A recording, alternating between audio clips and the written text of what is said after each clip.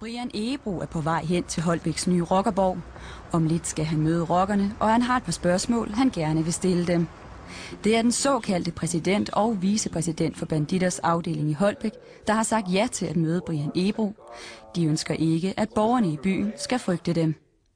Ifølge Rigspolitiet sidder der lige nu 352 personer fra rockerbandemiljøet bandemiljøet i fængsel, sigtet eller dømt for blandt andet narkosalg, våbenbesiddelse og drabsforsøg.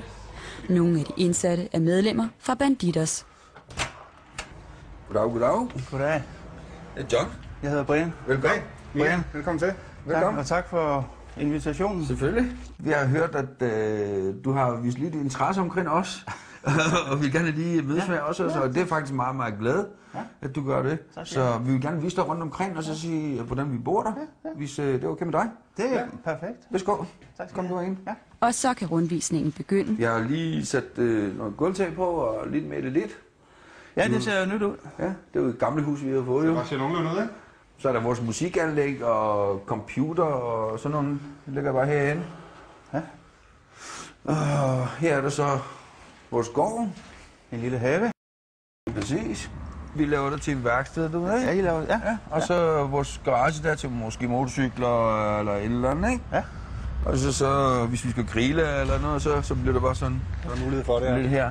Ligesom almindelige haver. Ja, lige Ja, præcis. Ligesom almindelige mennesker. Indenfor viser rockerne Brian Ebo den bar, som de er ved at bygge. Er du tørstig? Vil du have en cola eller noget? Jeg vil gerne bede om cola, ja. Ja. Det, det jeg købte her, er det større end det, I havde, hvor I kommer fra der siden? Nej, det, er- det er en del mindre. Siden I valgte at... Nej, det er en del mindre. Det var fordi, vi gerne ned til byen her, hvor der var alt var tæt på. Spisesteder, træningscenter og det hele. Ikke? Altså, sådan som vi har forstået det med, med ting og sager, at øh, folk har været lidt mere utilfredse med, at vi var der og var bange og utrygge og sådan noget, ikke? Her eller der? Eller her, hvor vi er kommet nu, ikke? Ja, det ved jeg ikke, altså. Man kan jo godt gøre sådan nogle tanker, selvfølgelig. Om lidt får Brian Ebo mulighed for at stille sine medbragte spørgsmål til rock. De stoffer og narko, der er her i byen. Kan I garantere, at det ikke kommer fra nogle af jeres medlemmer? Det kan vi sagtens garantere, at det ikke gør. Det kan det. I hvert fald ikke, hvad jeg har kendskab til. Så Det er en stor garanti, I det er. Som vi har altid sagt, altså, jeg ved jo ikke, hvem der laver hvad. Vi er jo meget imod med narko og sådan noget, ikke? Der er vi. Øh, specielt... Øh, Men ikke så meget, så I siger, Marker, det kan vi ikke tolerere det her. Jamen altså, det som vi sagde til, det er enkeltmands sag. Mm. Selvom der er min bror, han er min bror, men det må han selv bestemme, hvordan han vil livet sætte sit liv. Jeg kan ikke bestemme, hvordan han vil sætte sit liv. Om han vil sidde i fængsel, det er hans valg. Brian Ebo forstår ikke, hvorfor rockerne ikke ekskluderer folk, der begår kriminalitet. Men netop derfor får man jo sit image. Hvis man går... Lad os nu sige, at en bliver dømt for Vi er det nogle flok mennesker, som har ikke nogen overhovedet fordom for noget form for mennesker. Vi vil gerne have nogle mennesker, som har god hjerte. Om han har begået en eller anden form for kriminalitet, og han bliver ekskluderet fra hele samfundet, på grund af den fejl, han har lavet, mm. så er det ikke en betydning med, at han kan ikke være hos mig. Fordi han har måske andre kvaliteter for mig, som min bror. Så derfor, jeg kan ikke bare sige til ham, du kan bare gå ud herfra, fordi du har lavet den fejl. Vi er ikke ligesom alle andre mennesker i samfundet. Hvis der er bare en fejl, er begået, så er man bliver stemplet, og så bare smidt på gaden. Nej, men det ødelægger jo omdømmet. Det gør det da ikke. Altså, det er jo stadigvæk Gør en mands sags skyld. Altså, jeg kan jo ikke, stadigvæk som, jeg kan bare blive ved med at sige det, mm. det er jo ikke hele Banditos, der går fejl. Det er jo en enkelt mand, som er med i Banditos, har begået fejl. Så der er intet med klub at gøre det her. Intet overhovedet. Men så tænker jeg på, hvad vil I gøre for at ændre det?